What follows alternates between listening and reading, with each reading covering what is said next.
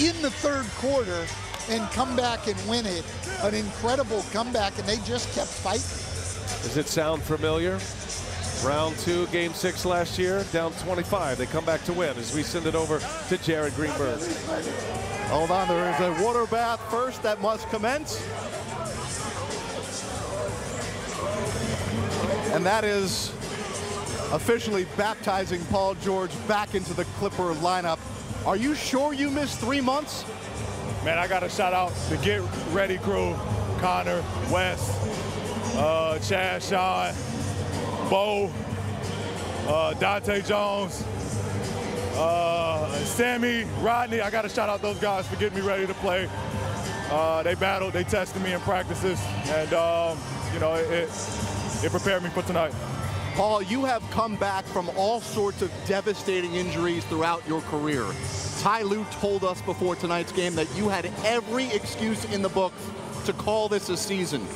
What was it that made the decision for you that you wanted to return? I mean, first and foremost, I couldn't do this without God. You know, He strengthened me, He healed my body.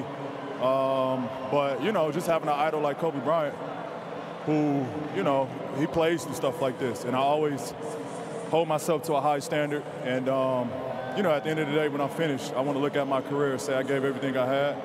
I wanted to help my guys. I didn't want to leave them out here hanging for the rest of the season. I felt good. So, uh, you know, it was only right to come back. MVP! MVP! Reggie Jackson saying MVP.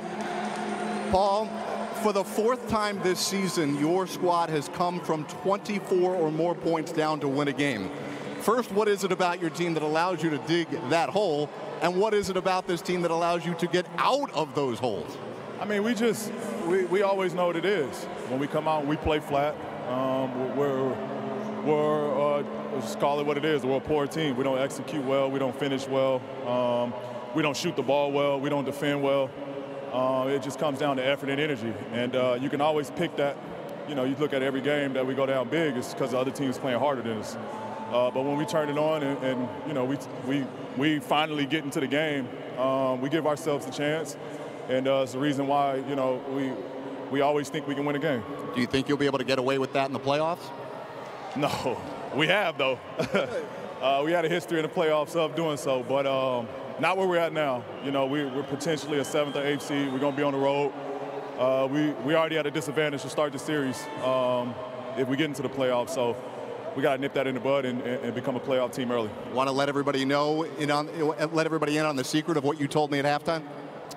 Uh, I should. I saw him in the halftime uh, in, in, the back, and he and he said hopefully that he sees me after the end of the game. I should have promised that I'll see you at the end of the game. uh, but uh, it's good to see you, Jay. Paul, welcome back. Appreciate it. Thank you. League's better with him back on the floor. He was a star tonight. Paul George, 34 points. And they might be getting Norman Powell. They could be dangerous if they get into that play-in and into the playoffs. For Coach Stan Van Gundy, for Jared Greenberg, the rest of our crew, Sean Gerchikoff, Matt Lip in the truck. I'm Brian Anderson wishing you a good evening from L.A. After this short break, we'll send you to our Atlanta studios for the NBA on TNT postgame. It's presented by Kia. Clippers with a comeback win tonight on their home floor to snap a five-game losing streak.